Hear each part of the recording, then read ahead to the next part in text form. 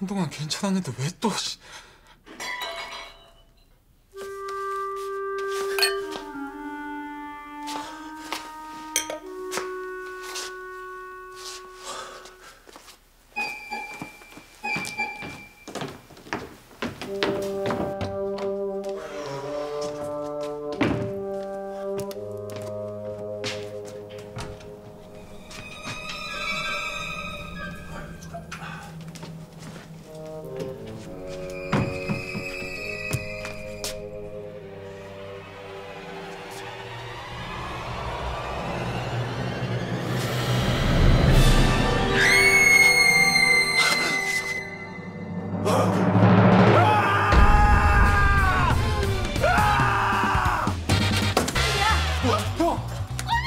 어,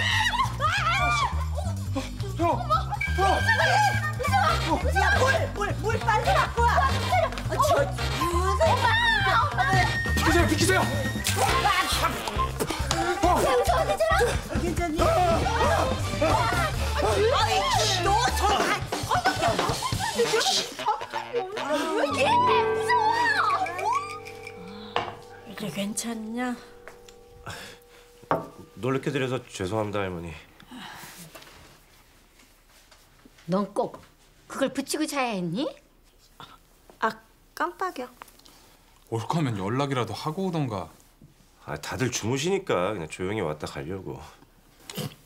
두 번만 조용했다간 난리 나겠네. 근데 새벽엔 웬일이야?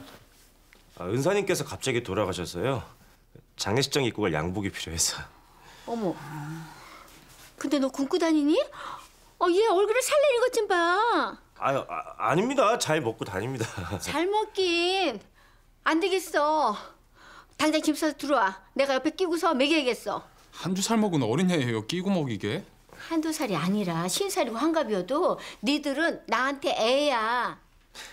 에이, 이렇게 얼굴 보기 힘들 줄 알았음 애당초 독립하는 거 허락하지도 않았지. 아이고 좀 그냥 가만 내버려 두게나 좀. 아유 은석이 어련히 알아서 할까 봐. 그래도 은석아 응? 먹는 거 잘 챙겨 먹어. 그래야 네 엄마가 잔소리 쑥 들어간다.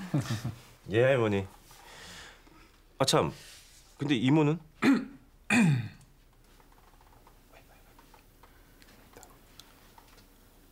야,